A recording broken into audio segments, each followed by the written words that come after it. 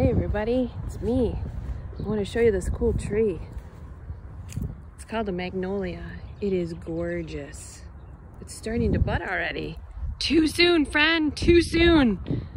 Anyway, it's gonna get really cool, big pink blossoms. It's gorgeous. It usually blooms right around prom. We call it the prom tree, which is in May. You'll know about prom when you're in high school. It's a great backdrop for when we take pictures. Anywho, um, yeah, I wanted to see if I could turn this around, but I don't think I can. So here's my neighborhood. Yeah, we need some trees to bud because it's supposed to be spring soon. There's the front of my house. This tree never lost its leaves.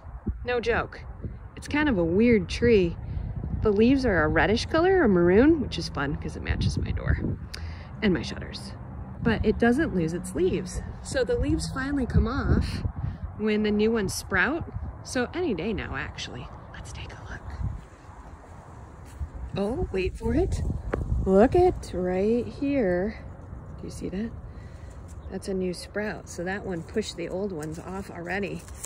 So it's going to start happening. Yeah, it's weird. Every fall we try to get the leaves off and it doesn't come off. So I don't know. It's a mystery. These sad things are gonna be roses. Ooh, there's some new green here. That's fun. Not gonna touch them because they're pokey. So, you know, it's the first day of spring, so I thought I'd show you some spring stuff. Okay, this is a new tree. We got it last year. it's got buds, check it out. Can you see them? This tree is fun because it changes with the seasons. So it's going to be green now, and then in the summer, it gets fun little flowers. And then in the fall, it gets autumn colors, autumnal colors. Yeah. Okay, see ya.